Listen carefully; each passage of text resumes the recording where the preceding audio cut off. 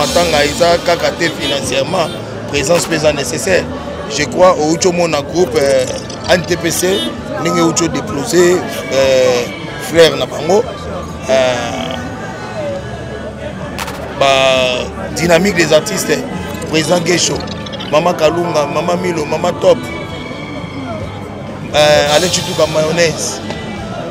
batikaki biso te bazalaki toujours depuis ebembe ekufaki ti lelo baza kaka na biso na ntango nyonso okomona absence ya baartiste moto mosusu akobela moto mosusu aza na baproblème moto mosusu moto mosusu bakoya bango nyonso te voilà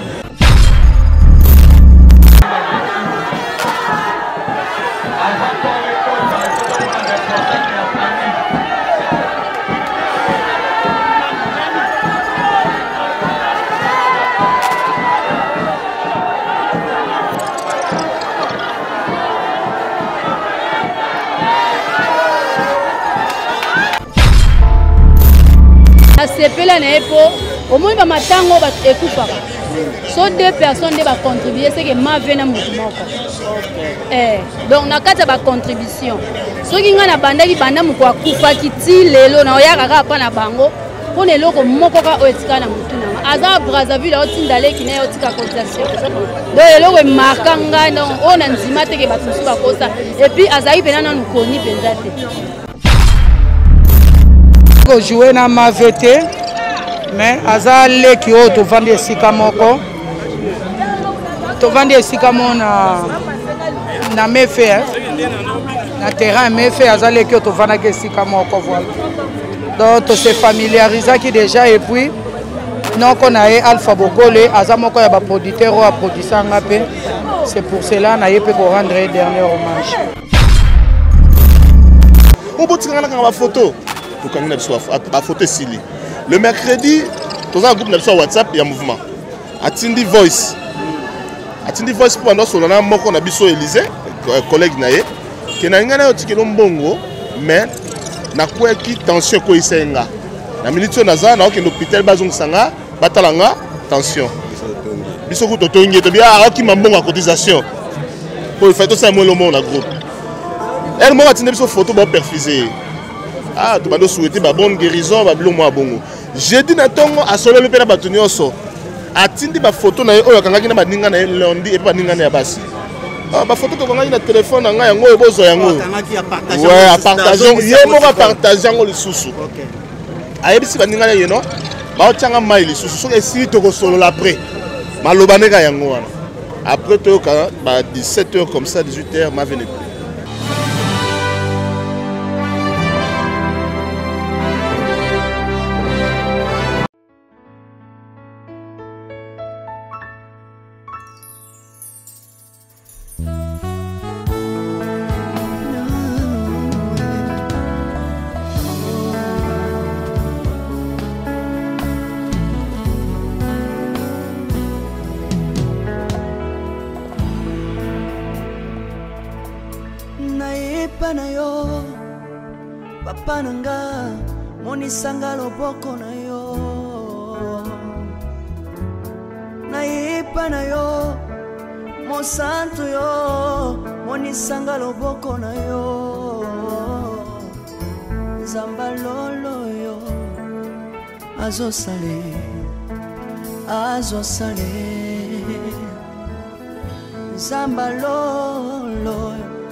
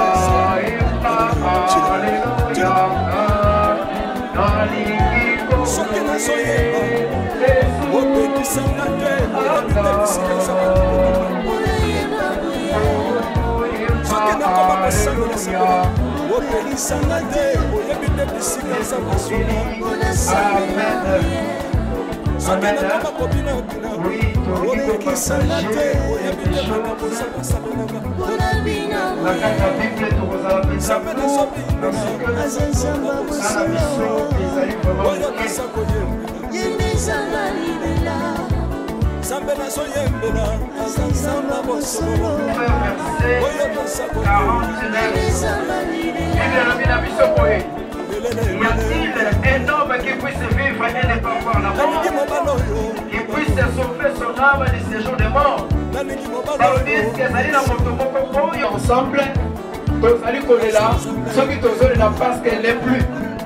aza na biso so elongo te asa traverse déjà couloir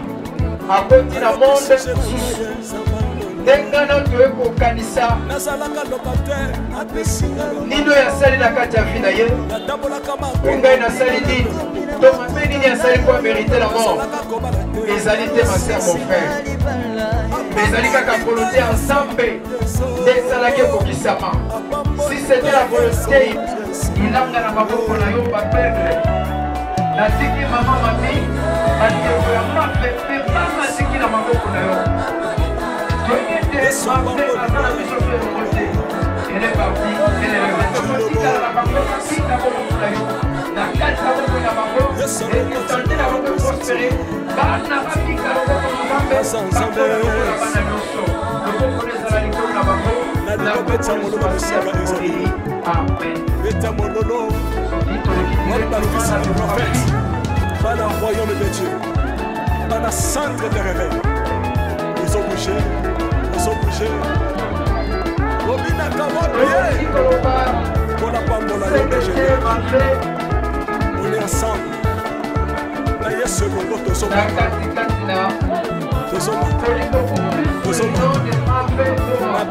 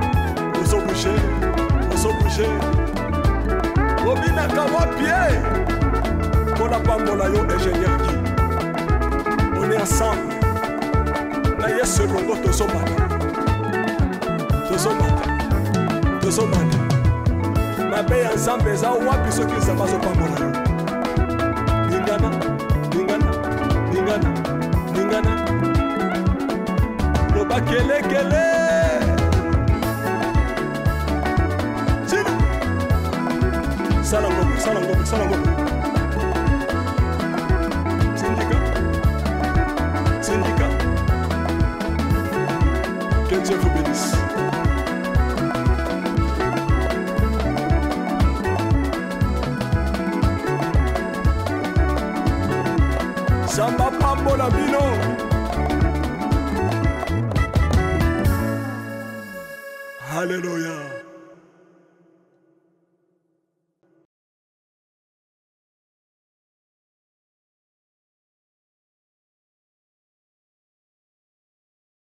Eh, eh, eh. Maman Top, bonjour. Bonjour, papa. Maman Top, euh, lelo toye kotika mabe ilanga kodopesa ye ba au revoir na ye Euh, est-ce que otikala kojoue na mave ilanga merci beaucoup papa na nga mira natikali kojoue na na mave te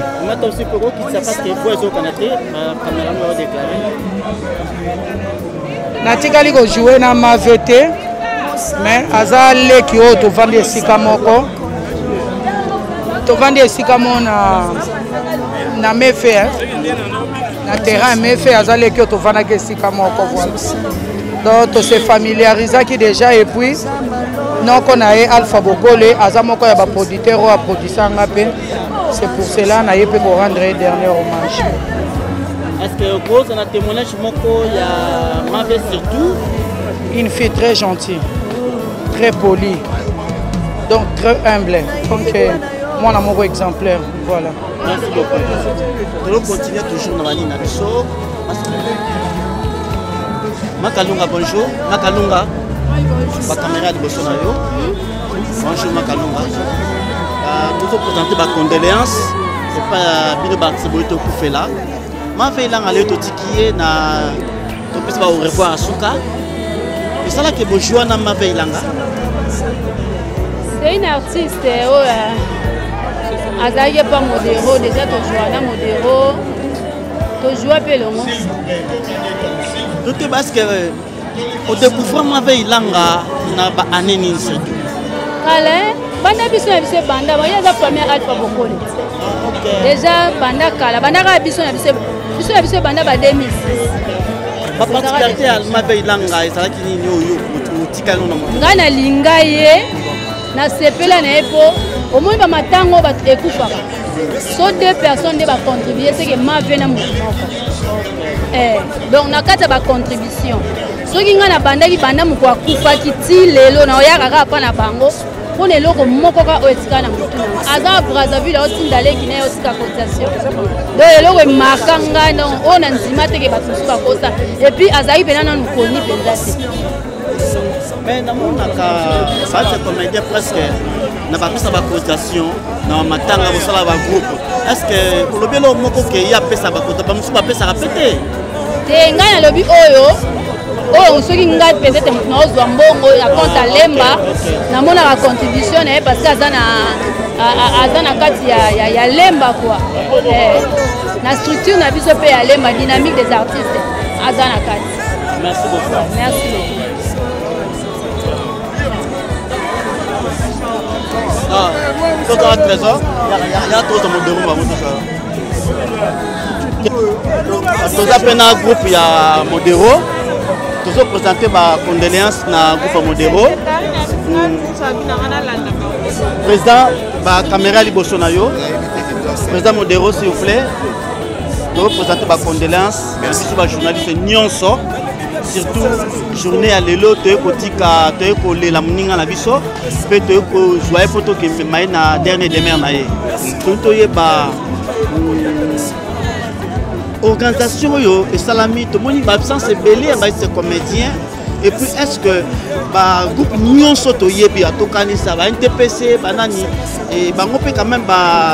baportaki main forte epai na yo parce que toyoki ke e, ezali kaka groupe na moko motu bosali evenema wana ah, je crois omoni ya ntpc eyaki oporte motu main forte na matanga eza kaka te financièrement présence mpe eza nécessaire je crois outi omona groupe euh, ntpc ndenge outi odeplose euh, frère na bango euh, ba dynamique des artistes président gesho mama kalunga mama milo mama top euh, alain chituka mayonnaise batikaki biso te bazalaki toujours depuis ebembe ekufaki ti lelo bazalaka na biso na ntango nyonso okomona absence ya baartiste moto mosusu akobela moto mosusu aza na baproblème moto mosusu moto mosusu bakoya bango nyonso te voilà message nyonso opesa epai ya surtout badiaspora badiaspora nyonso oyo bazolanda yo surtout na baoyo babengaki baoyo bacontribuaki euh, merci na baoyo babengaki merci na bango nzambe apambola bango bisika bazali voilà trésor na yo mpe nayokaki oza na témoignage moko ya eh, ya ndeko na biso mafea ouais, normalement mafe aza grand artiste premièrement aza artiste oyo tolobaka malamu mosusu akufi nga toyani commune moko e aneyaka wana tojoane deux fois aza na maîtrise aza na compréhension mpe aza na facilité ya koswana motu nyonso asalaki artiste te asalaki star te asala noki mwana ndako mpe alemba abene edike désolé kaka nde tokokufa ebele mais ngai na osenga kaka kende na biso totikali neti na biso batrésor tshimbola artiste complet boye tolobaka eloo moko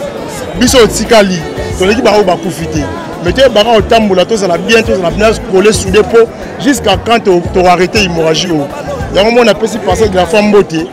tozongaka na losambo parce que sa losambo nayebi te tosuka wapi ya importe ezaka ke non mémoire ne epema na kimia mpe ya sonam nzambe alola azala na ye biso otikali kaka te botosala mosala mpe ka nde asalaki mosala 15 ans c'est pas facile aleki na badifficulté mais ake epema na kimia se mpesa kitoko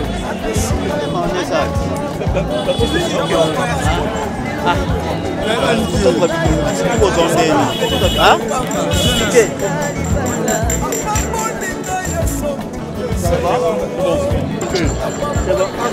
suke ozali moko surtout ya baartiste oyo boevoluaki mingi ensemble na mave on a eu beaucoup de témoignages par rapport à mave et surtout na mokolo oyo ya suka ya répétition c'était le lundi ou mardi yebisa biso jete croire esalamaki ke abanda okanga bafoto abanda olisa bavideo beta biso nano en une minute par rapport ya journée wana merci merci ya na ngai d'abord eza mpasi ya ozalaki na motu lundi le jeudi akufi le lundi comme dab nde tozala répétition na biso na alliance na cadet de star mave azalaki présente azalaki kutu bien et puis le lundi wana ajouaki makasi na répétition azalaki mpenza la meilleure et puis eza na film ya président ajouaki tonalité na, na, na, na kati ya, ya répétition na seigneur na président basepeli alobi il faut jouer na mboye mikolo oyo obomba bilamba na yo ya sika faut jouer mama na fin ya répétition ajoua yango te banda kojoua yango kala mais amipesa mpenza na yango te na fin ya répétition ndenge ezalaka biso nyonso ntango tosilisi akomi kokanga bafoto na bato nyonso ngai natunaki me mafe oyokanga bafoto mpani ofe nakanga kaka eza ndoko na ngai naokanga kaka toseki toseki toseki ngabi akepa seni ya modero akangi su foto tobotoli ya modero akobotola tobi ah, te olekisi bafoto na eleki mave oyo botikanga nakanga bafoto tokangi na biso bafoto esili le mercredi toza na groupe na biso ya whatsapp ya mouvement atindi voice atindi voice mpo banda solo na moko na biso elise euh, collègue na ye ke nalinga nayo tikelo mbongo mais nakweyaki tension ekweyisa ye nga na miniti oyo naza naokende hôpital bazongisa nga batala nga tension biso kutu totongi ye tobi akima ah, mbongo ya cotisation oyo fai tosala mwa elomoko na groupe ere moko atinda biso foto baperfuse ye ah tobandi osouete babonne guérison babilo mwa bongo jeudi na ntongo asololi mpe na bato nyonso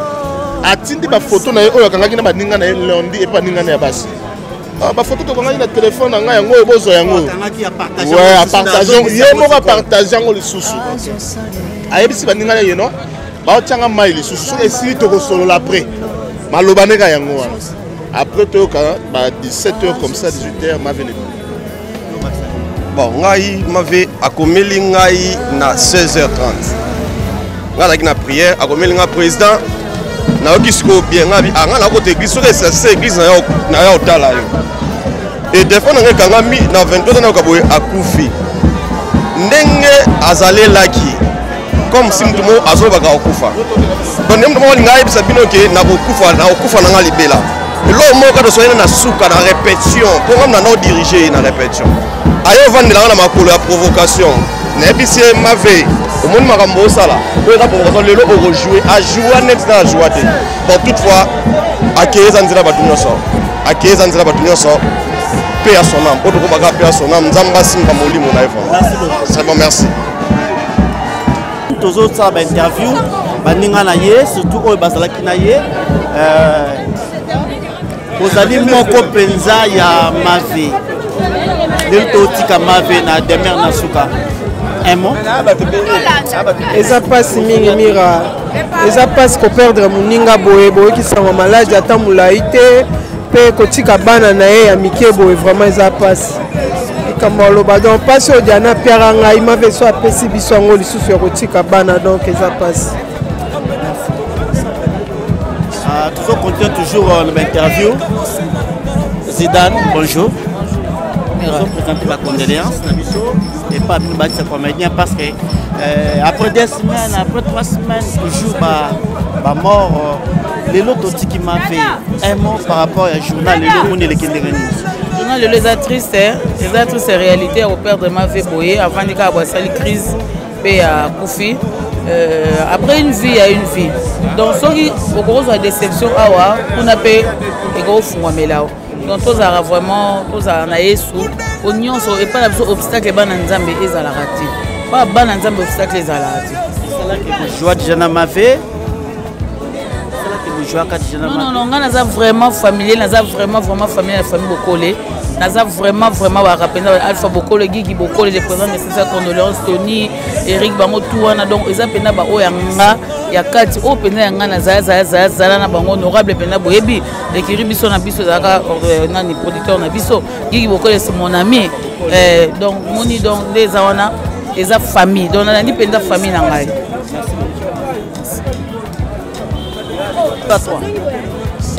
oxy ozali secrétaire général ya ntpc et pour le moment tozobwakelo baflaire na mosala nosala ntpc tosentir ke ebanda ozwa vie par rapport auparavant mpona bainformation tokolobaka mabe te kutu bape malamu euh, à chaque fois tozomona yo na baobsèque euh, presque ozala sikoyo baobsèque baactivité oyo nyonso nalobi par rapport ya bajournée ya lelo ah, l'occasion oyo message nini oza nango mpona ntepese surtout mpona Et organisation ya matanga lelo. Bon, comme on- nous avons pris parole kuna na kombo ya baartiste nous avons pris parole na kombo ya président masumu oyo adelegaki biso en urgence tellement santé il devait être là santé esali mwa défaut nde toyaki mbango donc euh, euh, on- on ne veut pas marteler c'est l'organisation mais l'essentiel ndeko na biso toleli ye oyo eza primordial yango wana to rendre ye ba hommage na ye te en tant qu'artiste nde sikoyo tozomema ye na ndako na ye ya,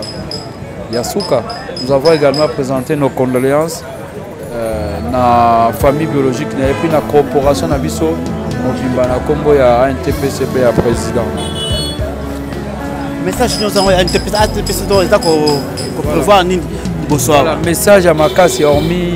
nde comme ozotuna ngai ezali prépar, ba préparatif ya journée internationale ya théâtre oyo eza le 27 mars ba préparatif ebandi déjà na cadre ya ba préparatif na yango y aura ba match ba football y aura ba atelier y aura ba jour ya réjouissance orchestre ekobeta wana ezala kaka eza forme kaka na baartiste ya comédien donc euh, voilà yango wana babandi déjà barépétition chaque vendredi na la quintoise côté ya bongolo wana artiste ya comédien nyonso amoni ke ye mpe azali na, na mwa don wana na capacité wana aya korejoindre baninga mpo jour wana ezala nyonso esalama ezalaka baartiste comedien donc préparatif ebandi deja nous lançons mpe na bato bakoki kosunga mpo na activité wana ah, que ce soit des partenaires que ce soit nani bakoki kosunga mpo na journal elekaka malamu et puis antpc abengisi bastructure nyonso baassociation nyonso on veut pas ezalaka antpc moko organise non tolingi tozala lisanga tolingi tozala lisanga yango aprésident masoma alansaki message bareunion ebandaki déjà bato bazopesa baproposition baproposition ndenge journée wana elekela donc euh, bastructure nyonso ngonga yango oyo euh, prenons contact na baréunion tobongisa yango tosala yango ensemble mpo ezala ezala événement moko monene bato bamonamaki no lelo eza le 27 mars euh, gauche droite lorsque vous êtes ensemble ekozala makasi ekozala vraiment eloko ya monene Nous sommes arrivés à la fin ya reportage na biso tozalaki awa na hôpital saint joseph euh, je pense que na rien plan na ngai awa ezalaki esika oyo baexposaki corps ya mave ilanga euh, tomonaki présence ya baete comédie ebele namonaki entreprise ezalaki représente bongo na oxygène basalaki mpe dépôt ya gerve na bango namonaki mwa kalunga namoni mama top namoni Euh, Zidane, namoni baite comédie ba Mirma, namoni Prudence. Ah, obi de moi mbalo babi dudu supu. Dudu supu, tu devenir rare oyebi. Nazali. Rare. Hmm, nazali. Mais dudu, hmm. balobi ke yo kobanda obali otiki mama théâtre ozokana te na bamakambo ebimaki entre yo na mamna na Theresia et déstabiliser libala na yo yango no bendaki penza pona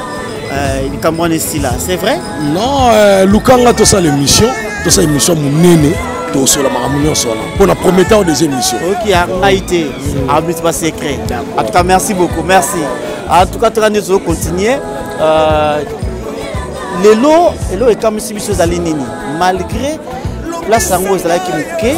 mais quand même bayete comédien baye mpenza coup de chapeau na bayete comédien nyonso coup de chapeau na motu nyonso oyo